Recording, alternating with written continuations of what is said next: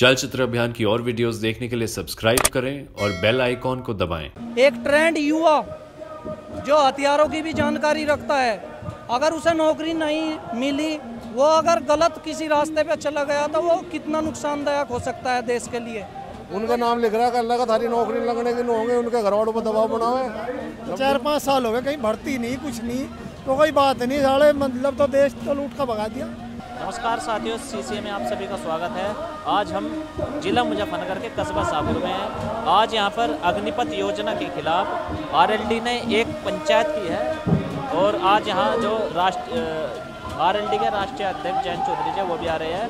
तो इस पंचायत में जो कुछ युवा है उनसे बात करते हैं कि वो इस पंचायत में जो है और क्यों इस योजना का विरोध कर रहे हैं। जी आपका नाम?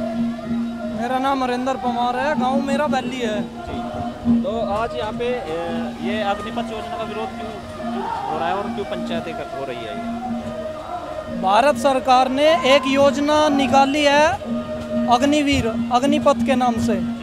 उसके विरोध में राष्ट्रीय लोकदल ने युवा पंचायत के नाम से एक मंच देने की कोशिश की है। सभी युवाओं को कॉल किया है कि सभी युवा जो है आकर एक मंच पे एक लोकतांत्रिक तरीके से जो है इसका विरोध कर सके।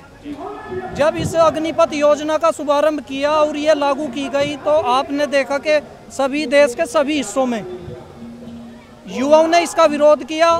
सपोज़ कीजिए, अगर सत्रह साल का लड़का अग्निपथ योजना में चला जाता है, तेईस साल का होकर वो रिटायर होकर आता है। एक ट्रेंड युवा जो हथियारों की भी जानकारी रखता है, अगर उसे नौकरी नहीं मिली वो अगर गलत किसी रास्ते पे चला गया तो वो कितना नुकसानदायक हो सकता है देश के लिए?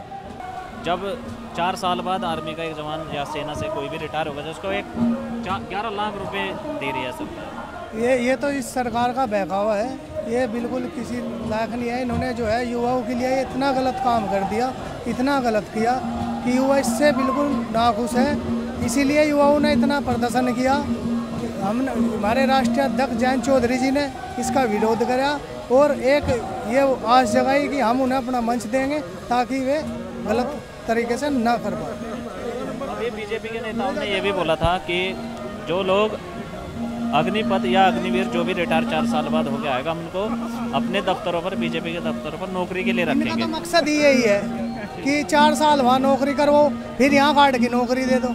बताओ, जो चार साल अपने जो जवानी है, उसकी वो अपनी सीमा पर गुजारिया उसे सब ज्ञान होगा, हथियार का, सब उसे एक्सपीरियंस होगा होगा। वो फिर आते ही गलत राह पे चलेगा, नहीं चलेगा। तो जब सेना ही नहीं रहने की तो देश सुरक्षित कहाँ से रहेगा?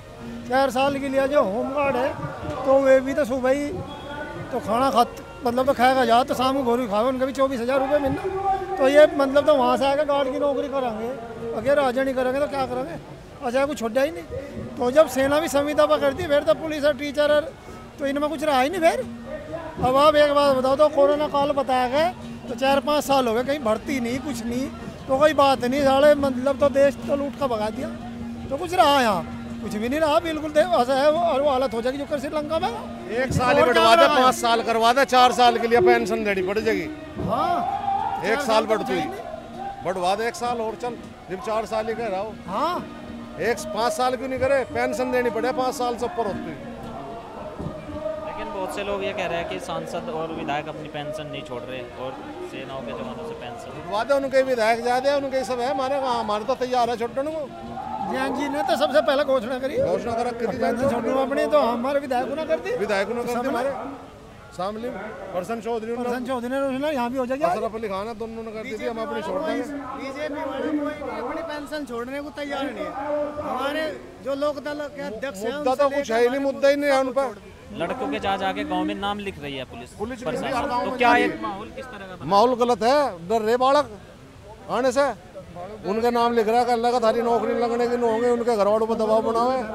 लमडू पर दबाव बना रही पुलिस जा जाके गाँवों में। जो ये आंदोलन चल रहा है ये कहाँ तक जाएगा? शांतिपूर्ण आंदोलन चलेगा जो कर हमारा किसान आंदोलन चला उसी तरह पर चलेगा होकर हम अभी यहाँ में हमने कुछ नौजवानों से बात की है और कुछ मतलब जो है जो किसान आए हुए हैं उन लोगों से बात की है। उनका कहना है कि अग्निपथ योजना जो है ये नौजवानों के बिल्कुल खिलाफ है। जुड़े रहे शीशे के साथ।